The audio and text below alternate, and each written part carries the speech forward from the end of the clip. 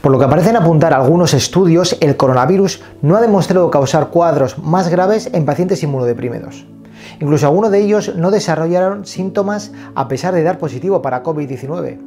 Con respecto a la fiebre en un caso clínico publicado de un paciente inmunodeprimido, tras recibir un trasplante de riñón sí que refiere este síntoma junto con síntomas gastrointestinales y respiratorios, por lo que cabe esperar que si, si se manifiestan este síntoma hay que ser precavidos porque todavía hay poca evidencia dada la reciente aparición del virus.